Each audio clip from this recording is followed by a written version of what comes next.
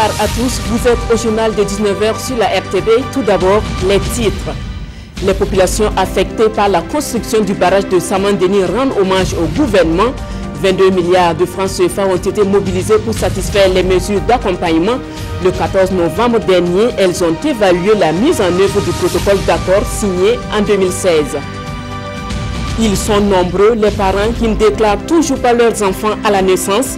Le phénomène semble avoir particulièrement la peau dure à Loudalan. Dans cette commune, beaucoup d'enfants sont sans acte de naissance. Une situation souvent difficile à gérer, surtout quand il est question d'aller à l'école. Voilà qui fait le sommaire de cette édition. Madame, Monsieur, bienvenue. Le cadre de concertation des populations affectées par les travaux du barrage de Samandeni se dit satisfait des mesures d'accompagnement du gouvernement. Avec les populations, ils ont évalué le 14 novembre dernier la mise en œuvre du protocole d'accord. 22 milliards de francs CFA sont mobilisés pour répondre aux attentes des populations concernées. La mine Karantao et Moussa Sano. Le barrage de Samandeni est désormais une réalité les mesures d'accompagnement aux populations affectées par la construction de l'ouvrage presque aussi. Ce mardi 14 novembre, sur invitation de l'ERCA de concertation, les populations évaluent la mise en œuvre du protocole d'accord signé il y a un an avec le gouvernement et qui portait sur la somme de 22 milliards de francs CFA. Du point de vue des réalisations, nous sommes pleinement satisfaits parce que d'abord, notre première satisfaction, c'est que le gouvernement a tenu sa parole. Le gouvernement a effectivement décaissé 22 milliards pour la mise en œuvre des accords du protocole qui nous lie au gouvernement. De ces 22 accords-là, il y a des questions pratiques que nous voyons sur le terrain, à savoir la relation des AEPS, la relation des infrastructures euh, sanitaires telles que les CSP, les écoles primaires, le désenclavement de la voie, l'indemnisation. Pour les populations affectées par la construction du barrage de Samandeni, comme toute œuvre humaine, la mise en œuvre des mesures sociales n'est pas parfaite eu l'augmentation de la démographie et des besoins. En entendant des réponses à ces préoccupations, le cadre de concertation tient déjà à rendre un hommage mérité au gouvernement qui a décaissé 22 milliards de francs CFA au profit des populations affectées. La gestion de ces 22 milliards-là, on a été associé du bout en bout à travers notre structure qui est le cadre de concertation. Vraiment, je crois qu'à ce niveau, on peut rendre hommage au gouvernement burkinabé. Et je rends également hommage aux populations affectées par le barrage de Samandini qui ont su mener une revendication civilisée, une revendication juste. Aux populations affectées par la construction du barrage de Samandeni, les cadres de concertation précisent que son référentiel de lutte est le protocole d'accord signé le 2 novembre 2016 avec le gouvernement burkinabé. Il invite donc les populations à se démarquer de toute lutte qui ne s'inscrit pas dans ce cadre. Bientôt de l'eau en quantité et en qualité dans la commune rurale de Béré dans le Zunwego.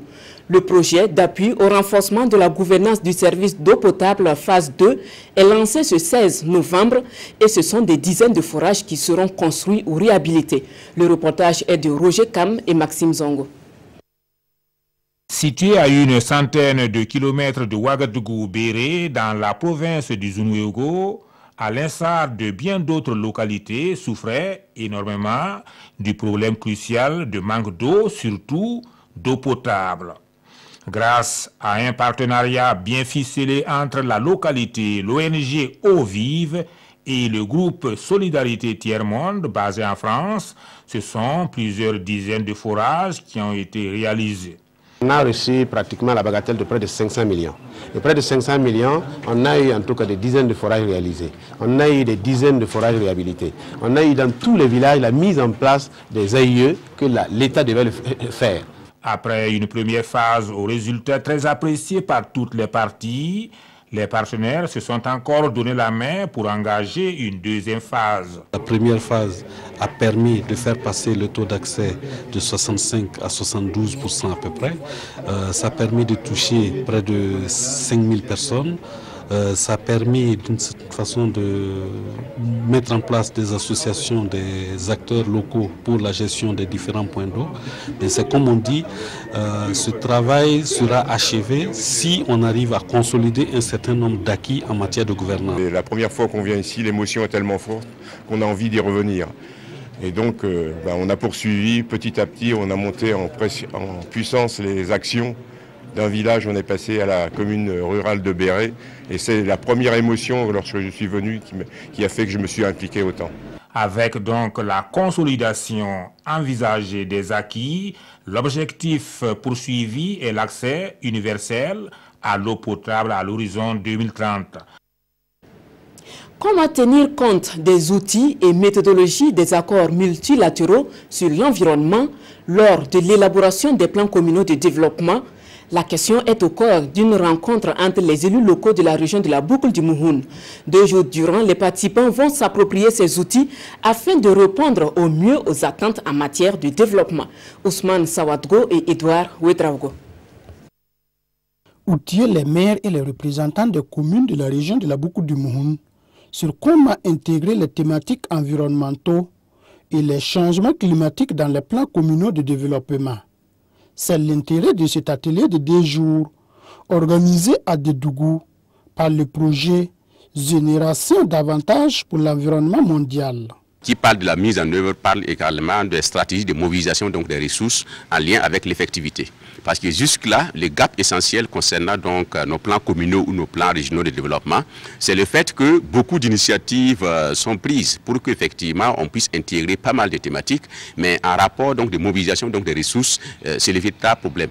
Donc pour ces deux jours, nous allons nous y atteler, non seulement pour l'aspect prise en compte donc lors de l'élaboration, mais surtout effectivement donc comment mettre en œuvre effectivement les actions prises en compte dans le cadre effectivement de la mise en œuvre des plans régionaux et communaux de développement. Les outils et méthodologies de prise en compte des accords multilatéraux sur l'environnement vont renforcer les capacités des élus locaux dans l'élaboration des programmes communaux de développement et leur mise en œuvre. Il faut un accompagnement des collectivités. Sinon, on a beau mettre en tout cas ces questions-là dans nos PCD, si de façon euh, financière, euh, en tout cas, on n'est pas accompagné, la mise en œuvre va être difficile. Du 9 au 10 novembre, les 45 participants, en plus de s'imprégner les outils, vont partager leur expérience à travers des travaux plénières et en groupe. Les questions environnementales intéressent également l'Association des municipalités du Burkina. Elle a convié les maires de la région de l'Est à Fadangourma et comme les élus locaux de la boucle du Mouhoun, ceux de l'Est ont vu leur capacité se renforcer sur la prise en compte des défis environnementaux dans l'élaboration des plans locaux de développement. Aimé Douamba, Ibrahim Sanou et Chantal Ouedraogo. Les maires des 27 communes de la région de l'Est s'approprie les outils de la planification locale. Cet atelier vise à outiller ses élus locaux et leurs collaborateurs sur les techniques de mobilisation de ressources en vue d'améliorer l'élaboration et la mise en œuvre de leur plan de développement. Ces orientations de développement doivent prendre aussi en compte les aspirations des populations, notamment les questions environnementales. Après diagnostic, on s'est rendu compte qu'après euh, le mandat, les PCD sont exécutés souvent, on, fait l'évaluation 10-15%. Donc c'est pour nous outiller véritablement à un regard beaucoup plus euh, au niveau de l'exécution, à un regard beaucoup plus euh, quantitatif et qualitatif pour que nos, plans communaux de développement que nous avons élaborés à coût de milliards connaissent des projets de rédaction de projets et vers les partenaires auxquels nous allons donc soumettre. Pour faire de ces défis environnementaux des priorités dans les plans communaux de développement, Plusieurs modules sont développés pour renforcer la capacité des acteurs. Il y a euh, des aspects en lien avec euh, l'opérationnalisation des plans locaux de développement. Ensuite, les techniques de plaidoyer euh, en termes donc, de simulation pour la mobilisation donc, des financements en lien avec la mise en œuvre donc, des actions contenues dans les plans locaux de développement de façon générale et avec une emphase donc, sur les thématiques environnementales et les changements climatiques en particulier. Initiée par l'Association des municipalités du Burkina Faso, cette formation va durer deux jours. Ce recyclage des acteurs locaux concerne aussi les régions de la boucle du Moun et du centre-nord. Je vous le disais en titre, des centaines d'enfants sont sans acte de naissance dans l'Oudalan et pour cause, les parents ne les déclarent pas à leur naissance. Conséquence, nombreux sont les élèves de la commune qui sont inscrits à l'école sans extrait d'acte civil. Des précisions avec Brahima Kane et Seydouzen. L'enregistrement à la naissance est un droit pour tout enfant au Burkina Faso. Mais ce droit est violé dans la région du Sahel selon les services de l'état civil. Beaucoup d'enfants sont sans acte de naissance, comme c'est le cas dans la province de Loudalan. On a comme l'impression que l'acte de naissance, ce n'est pas une priorité pour quelqu'un. Pas, c'est pas, pas, c'est l'exception. Avoir un acte de naissance, c'est une exception. C'est quand les gens ont besoin d'un papier qui doit être accompagné d'un acte de naissance qui s'y intéressent. La preuve est là.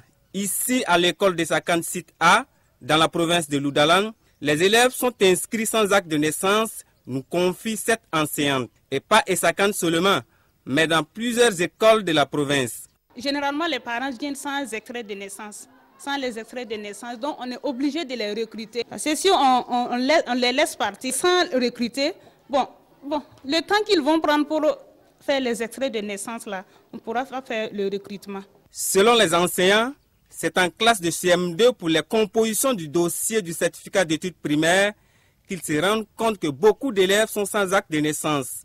Ils sont donc obligés de saisir les autorités compétentes en la matière par requête. Quand vous prenez euh, les jugements pour les extraits de naissance, en principe, euh, l'enseignant n'est pas habilité même à faire une, une, requête parce qu'il n'a pas d'intérêt. Généralement, ce sont les parents ou l'intéressé lui-même qui font, qui, qui doit faire la, requête. Mais les élèves, ils sont mineurs, donc ils ne peuvent pas rester en justice. Donc, logiquement, c'est leurs parents. Mais les parents ne, s'y intéressent pas. Donc, on est obligé de faire exception à ce principe pour que les, les, enseignants fassent les requêtes. On les accepte, malgré nous, pour pouvoir faire des essais pour les, pour les élèves. Face à cette situation, la mairie de Gorom Gorom, avec l'appui de la mine d'or de Sakan, a initié une opération de délivrance d'actes de naissance. La priorité est accordée aux élèves et aux enfants. Avec le tribunal départemental, on a décidé de toucher tous les 82 villages de la commune pour pouvoir enregistrer les enfants qui n'ont pas d'extrait d'acte de naissance. De nos jours, nous sommes à plus de 50 villages touchés et plus de 7000 actes de naissance délivrés gratuitement. Toujours dans le souci de se rapprocher de la population, la mairie a également créé des centres d'état civil secondaires. Les femmes, c'est à la maternité qu'ils viennent voilà, accoucher et dès l'accouchement, voilà, avec l'accompagnement donc des infirmiers, directement on enregistre l'enfant et on lui délivre euh, L'opération se poursuit et les autorités communales de Gorom Gorom espèrent toucher à la fin de l'opération le maximum d'enfants et d'élèves. L'ambassadeur du Japon au Burkina était hier à Dori. Le diplomate nippon a visité le centre de récupération et d'éducation nutritionnelle en interne. Il s'est également rendu au lycée des jeunes filles Soudou Andal et au centre régional de formation de Dori, des sites qui bénéficient du soutien de son pays à travers l'UNICEF. On en sait davantage avec Lazare Sanou et Ama Faisal Sissé. C'est le centre de récupération et d'éducation nutritionnelle en interne Crény, au CHR de Dori, qui a marqué le début de la visite du diplomate nippon. Un centre qui connaît assez de difficultés au regard de ses pensionnaires, mais aussi de sa mission. On a 100 malades qu'on reçoit par mois. Et sur les 100 malades, nous, on arrive à stabiliser 80. C'est-à-dire qu'il y a 80 qui sortent. Et puis, on a environ 16% de nos malades qui, malheureusement, décèdent par suite de complications liées à la malnutrition. Puis, cap a été mis sur le collège de jeunes filles Soudou Andal qui bénéficie de l'accompagnement de l'ambassade du Japon à travers UNICEF. Grâce au Japon, nous avons obtenu la construction de deux aires d'études pour euh, les filles. ils ont aussi donné 65 bourses d'études. Partout où il est passé, des doléances ont été formulées pour continuer de bénéficier des fruits de la coopération Burkina Faso-Japon. Je suis très touché euh, par euh, euh, le fait que ces gens-là ont trouvé enfin le rêve. Au collège aussi également, les, les, filles, les activités des filles me touchaient beaucoup. Je voudrais faire mon mieux pour le développement des ressources humaines. L'ambassadeur du Japon a salué et encouragé le personnel du CRENI, les responsables du collège Soudou Andal et les encadreurs de l'ANPE pour l'effort qu'ils déploient au quotidien pour le bonheur des populations. Voilà qui met fin à ce journal de 19h. Merci de l'avoir suivi tout à l'heure le 20h en compagnie de Nathalie Kaori.